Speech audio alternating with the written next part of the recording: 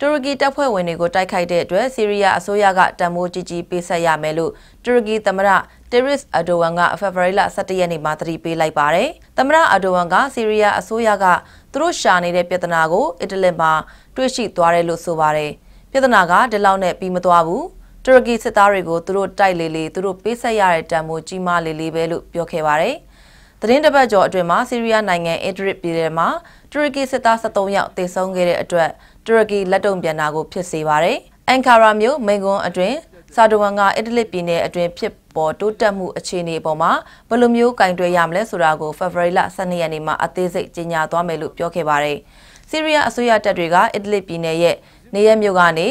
စုတ်ခွာနေတယ်လို့တူရကီကာကွယ်ရေးဌာနကဖေဖော်ဝါရီလ17ရက်နေ့အစောပိုင်းမှာဖော်ပြခဲ့ပါတယ်။အဲ့ဒီဒေသမှာတူရကီကြောတောင်နောက်ခံပြု တပုံတွေထိုးစစ်ဆင်နွှဲချိန်ဆီးရီးယားရဟတ်ရင်တစင်းပြစ်ချခံခဲ့ရတယ်လို့လည်းတူရကီကာကွယ်ရေးဌာနကပြောခဲ့ပါတယ်ရှင်။